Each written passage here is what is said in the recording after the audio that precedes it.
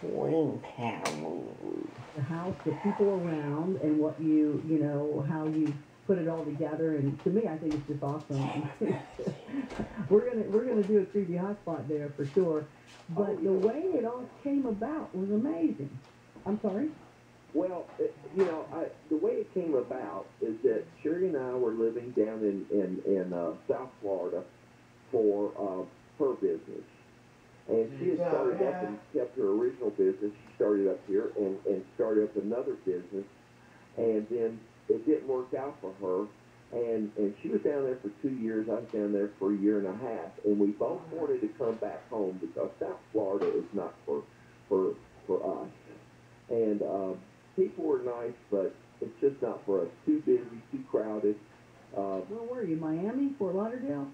We were in we were in uh, Broward County, which is the same as Fort Lauderdale, Yeah, yeah. Uh, That's a different but we were yeah. we were at the um, uh, uh, in a, a town little little area in Broward County called Miramar, which is which is right next to the uh, to the Everglades. Mm-hmm. Mm. And um, and see this stuff that that that's happened to me since five. That's been following me around my whole life. I go on vacation. Things sometimes things happen. I lived down there. Things happen and stuff like that. But the way we got to this house started in in 1992, and Sherry and I got married in March of '92. And and on the 13th, 14th, and 15th of uh, of January, I had three dreams. All three dreams elicited a different emotional response, with the last one being pulling the covers over my head and saying maybe they won't come and get me this time.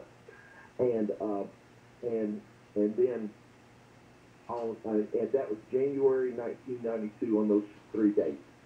On February, I had the same three dreams on the same three dates. And on our honeymoon, the last day of our honeymoon, I had the dream on the 15th. And, and, and, and I just, it just, it was just instinct, pulled the covers over my head like I did as a child. And it, and it woke Sherry up. She said, what's wrong? I said, I just had that dream. Well, these dreams lasted for four and one half years.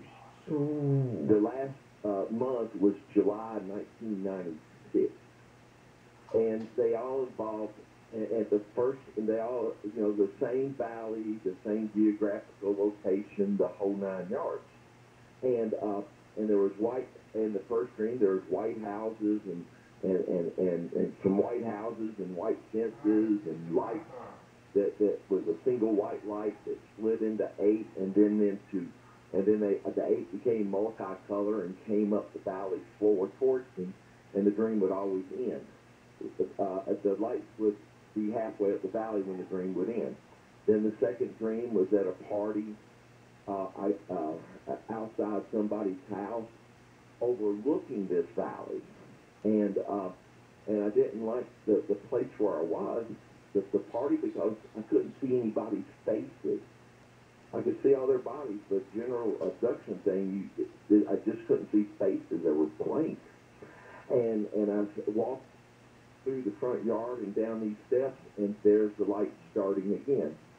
And and so then the third dream on the 15th was I'm in a cinder block building, one door, single door, uh, uh, and no windows, no furniture, nothing and there's an orange glow coming out, coming under the door. And the and the orange glow is like talking to me, saying, "Come out, come out, come out." And I'm going, "No, I'm not coming out. I don't, I, I don't like you. I don't, you know, I don't trust you." Blah blah blah. And so the next thing I know, I'm outside, and I'm standing in the same valley, but the valley instead of being green and lush and all that stuff was was it looked like it had been devastated the, the ground looked like it was sand, trees, just no trees anymore, no green grass. Uh, the, the, the hills on either side were, were, were devastated. And the orange glow was all around them 360 degrees, and so were the lights. And this time it wasn't to start up from a single light to eight and then multicolored, they were all around me. And, uh, and they were talking to me. And that's when I awakened uh, and I couldn't understand what they're saying, and they're waiting. Now, go up to 2003. My mother calls us. She has ovarian cancer. We said, and you know, it gets expensive moving a house and a business. So, so we we said, heck with that. We're going back home. Um, even though I have three brothers and and sister-in-laws and meet lots of nieces and nephews, we're going back home. And so we so we came up and and we were going to come up every weekend for about two months till we sold our home down there to buy our dream lot to build our dream house. And and this is the one where I'm. This is the house I'm going to die in because I'm not going to move again. I hate moving. That's a nice house, too, by the way. Oh. Well, the house is is is, is actually too big for us. Now we have two black labs. We've had two black labs, and so you know. Now, I don't want to stop you. I, I don't want to stop you on, on your journey there. You got, I got to get you back to it. I got to get you back to it. We got about two minutes before we wrap it up this hour. So I don't want to mess. I want to. I want to make sure you get there. But we bought a lot. The first first lot we saw, we bought it.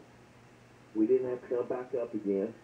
And about nine months and five months after we arrived back home, which was about six months, we they broke ground on the house, and um, and about nine months into the building process, I had the dog, one of the, the labs over here, and we were running around. I was over here for a couple hours, and then when I came, uh, we were leaving to go back to the rental house. We had rented it out to stay until our house was finished. The all of a sudden, I slammed on my brakes. We had built our house, and I didn't. It didn't even dawn on me in the same geographical location of those three dreams. Mm. And that was and we broke ground in 2005 and from then on it's been a fun ride crazy ride scary ride sometimes but a fun ride i mean and and all the weird stuff And that's what we're going to talk about when we come back. Is all that weird stuff that he's got that's going on there, and something else that he'll bring up. Um, you know, again, it's just a southern thing. We just keep talking and we enjoy it. And sometimes, just as the radio broadcaster, you got to go. Oh, let's get back. Let's get back to those really cool things that that you want to make sure you say. I'm here to help. I'm here to help. So more from Sandy. You're going to hear something really unique that they did that may prove to be some of the reasons, part of it, why they get this activity. So more to come with Sandy Nichols, me, Connie Willis, and you're listening to Coast to Coast AM.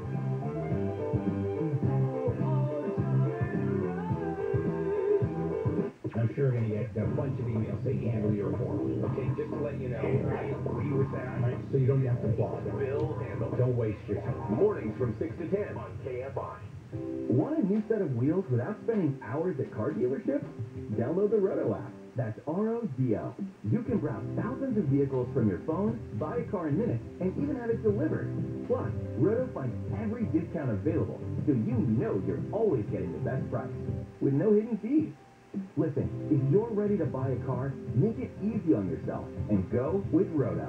Download the Rodo app now or check out rodo.com. That's R-O-D-O dot. I'm avoiding the chaos of Black Friday by having someone else do my shopping. So, Mom, here's my list. And now, the top five reasons to visit Morongo. Number five.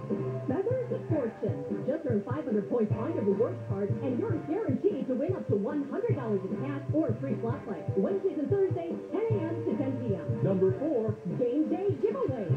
You can win a meal or even concert tickets when you watch football Sundays and Thursdays at Sideline Bar. Three. Thanksgiving Essentials giveaway. Get a healthy air fryer when you earn 500 points on your rewards card, the 22nd or 23rd.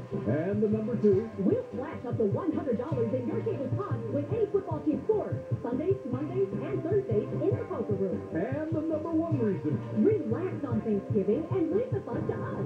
To order your feast, call 866-234-7006. Morongo Casino Resort and Spa. Morongo. Good times. I had three cousins pass away from COVID-19. One of them I was very close to. This guy taught me how to get on the line as a football player. What I think people risk, not getting that, whether it's death, whether it's their own life or the people that are around. Take it from me, the vaccine saves lives. Find a vaccine near you at myturn.ca.gov. Brought to you by the California Department of Public Health. Your vaccine for stupidity. KFI and KOST HD2, Los Angeles, Orange County. It's time for your morning wake-up call. And now, here's Jennifer Jones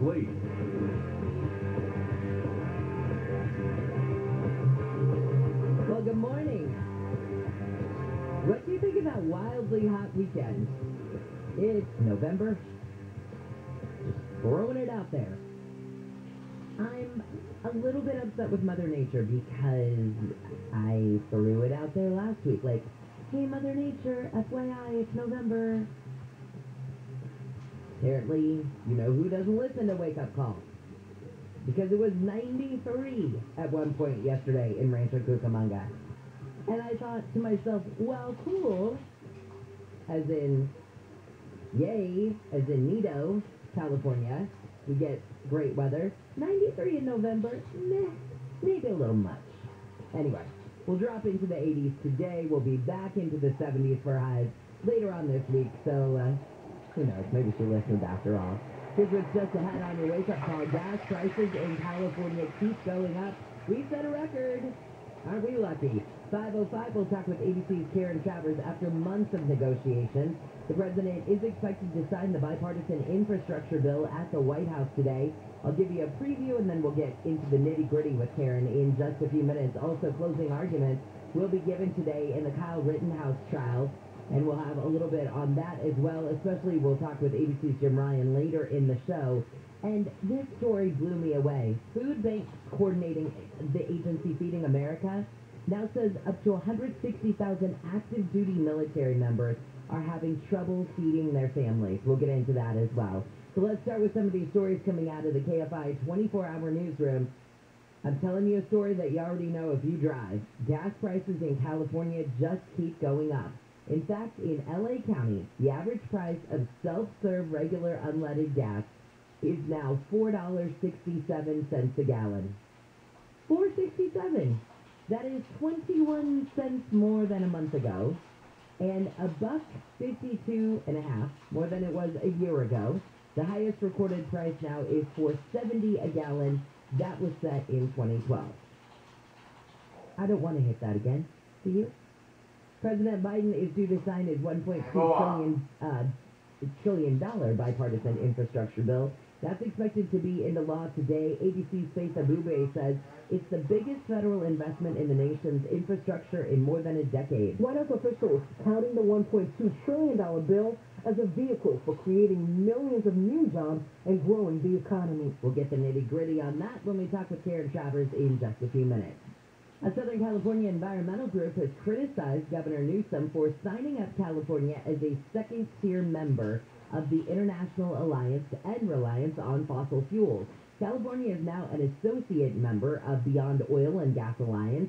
Spokesperson for Food and Water Watch, Jessica Gable, says that's because Newsom still hasn't banned oil and gas drilling. It is a good thing to commit to getting rid of fossil fuels, but words without action don't mean much.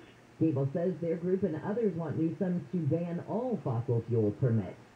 Closing arguments will be given today in the Kyle Rittenhouse trial. ABC's Jim Ryan gives us a preview and says attorneys for both sides have one more chance to make their case before the jury starts to deliberate. Kyle Rittenhouse doesn't dispute killing two men and wounding a third during civil unrest that followed the police shooting of a black man in the city. What the jury will have to decide is whether the then 17-year-old was the victim of the trouble or the cause of it.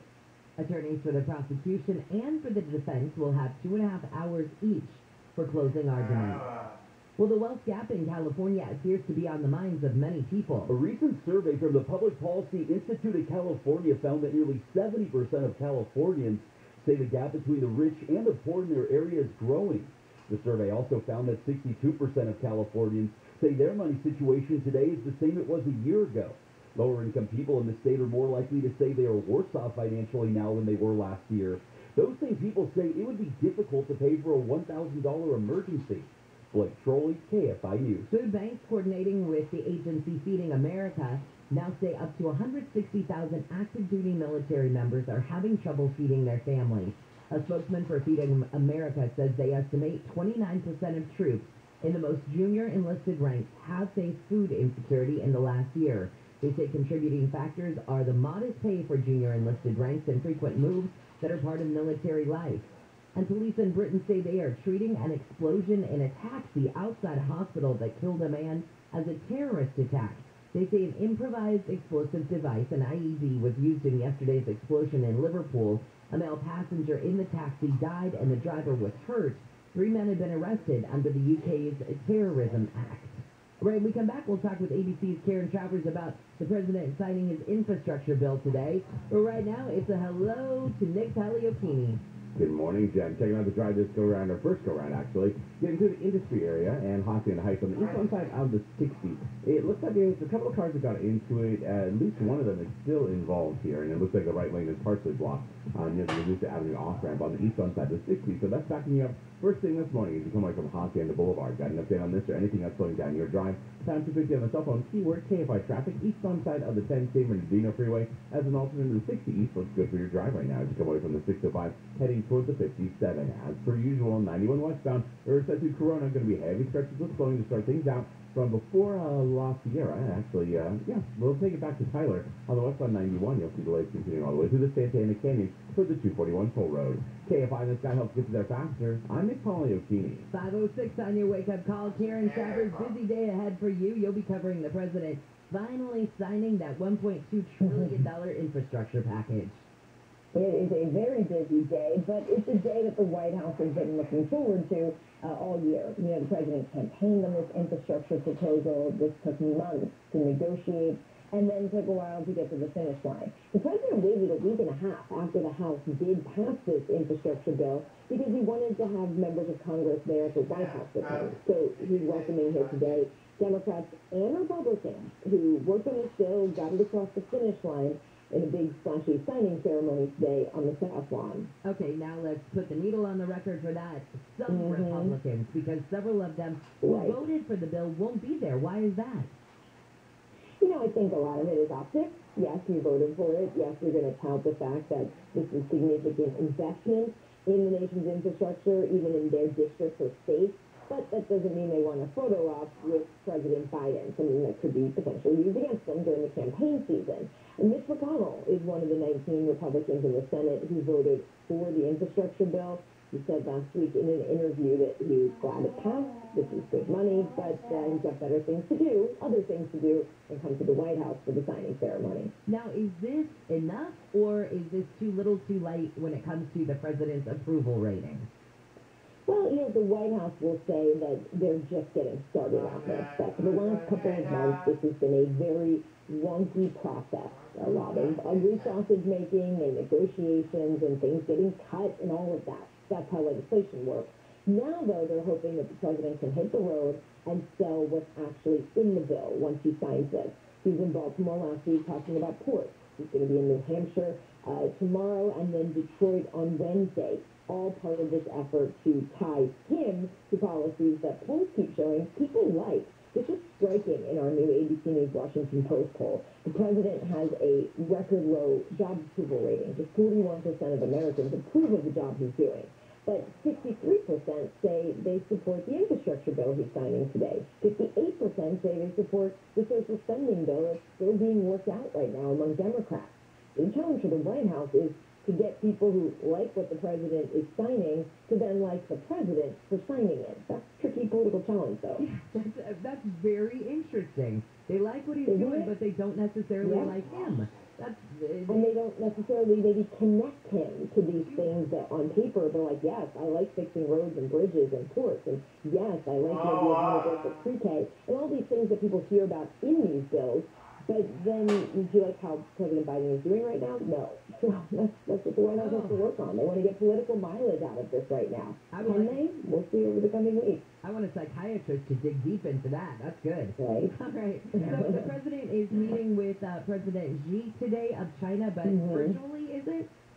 virtual meeting. Uh, it's a conversation that they'll be having on screen. Xi has not left China during COVID. Xi wasn't at the G20 summit in Rome last month. Xi wasn't at the climate summit in Scotland earlier this month. So this will be the third time that the president has talked since Mr. Biden took office. But the White House is saying they expect this meeting to go several hours. So tonight around 7:45 our time. All right. Karen, thanks so much for it. Have a great day. You too. See you later. ABC's Karen Travers. That's interesting. So they like what the president is, president is doing, but they do they not see him as the one who is doing it? Or again, is it too little, too late? They're like, yeah, okay, we think that you have some good ideas, but it takes too long to get there. So in the end, we don't give you credit for it. That's fascinating. All right, let's get back to some of these stories coming out of the KFI 24-hour newsroom. We've got nearly 200 countries signed on to what's being called the Glasgow Sign, uh, Climate Pact. The agreement comes at the end of the UN Climate Summit in Scotland, where China was not.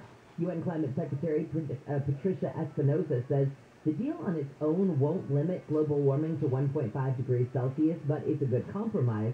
She says it will enable more money to flow from rich countries to poor ones to help phase down the use of coal and other fossil fuels.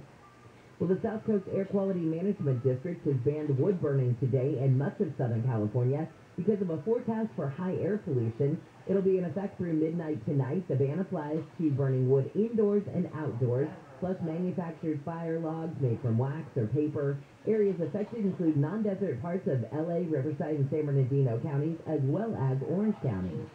Hall of Fame quarterback Joe Montana says the best thing people who are now eligible for Medicare can do is take the time to get all the relevant information they can. The enrollment period is open for people 65 and older to choose a Medicare plan. Montana says there are many options and it's hard to come up with a game plan. In the end, you find a good team, and, uh, and I found a good team. And it makes it a lot easier, just like football. When you have a good team around you, um, the game gets a little bit easier. Montana, who is now uh, Medicare eligible himself, and I believe is doing the Medicare commercial, if I'm not mistaken, says the key to finding the right plan is to getting good advice from a healthcare professional you can trust. Former Trump advisor Steve Bannon is expected to turn himself in. He's been indicted by a federal grand jury for contempt of Congress. He ignored a subpoena to testify before the House committee investigating the Capitol riot and refused to hand over the documents. The House cited Bannon for contempt, and the matter was then referred to the Justice Department. If you remember as well, uh, White House um, Chief of Staff Mark Meadows last week also refused to uh, answer a subpoena to the uh, January 6th committee. So I'm sure he'll be watching today very closely.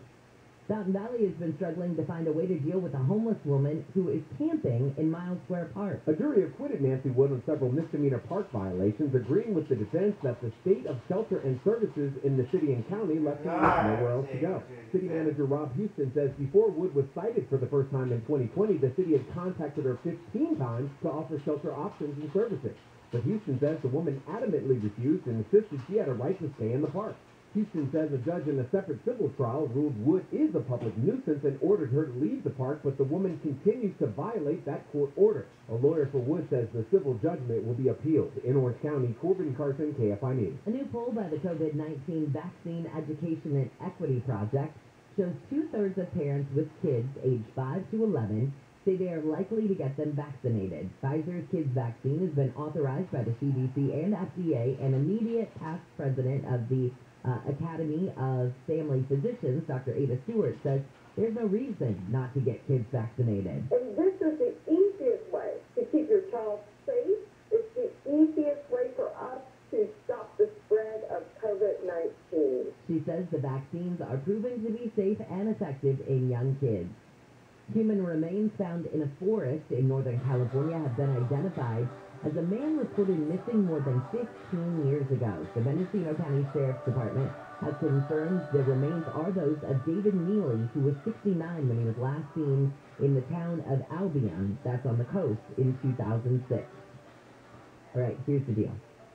If you're asked to leave for being unruly, punching someone probably isn't going to help your case. Dallas police have arrested a woman for assaulting a Southwest Airlines employee during boarding for a flight from Dallas to New York's LaGuardia Airport. Ariel Jean Jackson has been told to leave the plane for unruly behavior before she punched a Southwest employee in the head. Police say they arrested the 33-year-old Saturday afternoon at Love Field, and she's charged with aggravated assault. A Southwest spokesman says the employee Jackson hit was taken to a hospital and released Saturday night. Mark Ron, KFI News. What are we doing? Why are we punching flight attendants?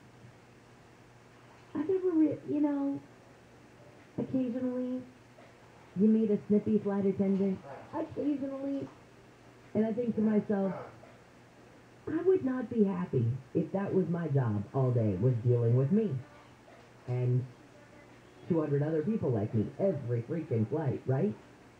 And they're probably, they may not even agree with the different things that they have to tell you to do, whether it be masks or, I don't know, don't smoke in the laboratory or don't bring your own booze on board or whatever. Maybe they don't like those rules either. Do we need to punch them? No.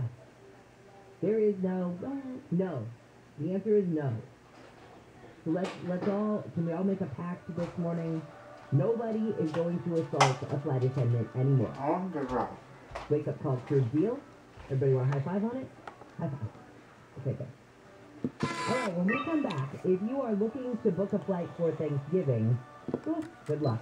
We are apparently flying at the No, same level we before the pandemic.